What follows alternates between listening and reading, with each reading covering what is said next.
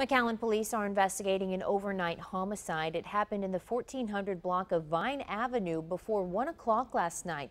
Police say they found one man dead with an apparent gunshot wound. The victim is identified as 41-year-old Nicholas Anthony Bazan. If you know anything about the case, you're asked to call McAllen Crime Stoppers at 687 8477.